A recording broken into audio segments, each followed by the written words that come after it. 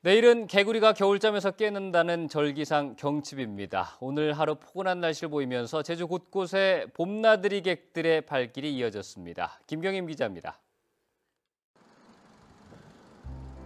산방산 아래 유채꽃밭이 드넓게 펼쳐져 있습니다. 웅장한 바위 절벽과 어우러지며 한 폭의 그림 같습니다.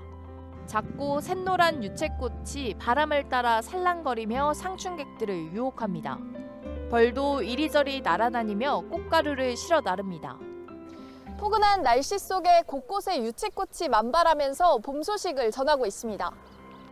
모처럼 마스크 없이 맞이한 봄. 친구와 가족, 연인과 함께 꽃향기를 맡으며 저마다의 추억을 남겨봅니다. 화사하게 활짝 핀 꽃을 바라보는 것만으로도 금세 기분이 좋아집니다. 딸이 특별 휴가 내서 여행 왔습니다. 모처럼 만에.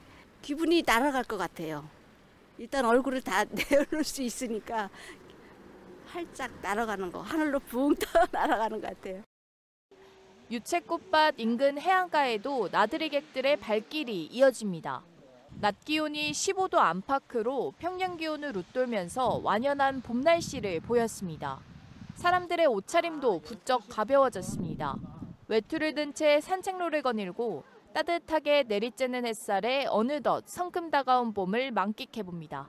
산방산에 유채꽃 이쁘다고 해서 유채꽃 보고 왔는데 진짜 너무너무 예뻐서 refresh 되는 느낌이에요. 저 외투 안 입었는데도 너무 따뜻하고 날씨 좋아서 기분도 너무 좋고 개구리가 겨울잠에서 깬다는 절기상 경칩이 다가오면서 봄이 무르익는 가운데 한동안 낮 기온이 18도 안팎으로 온화한 봄 날씨가 이어질 것으로 기상청은 전망했습니다. KCTV 뉴스 김경임입니다.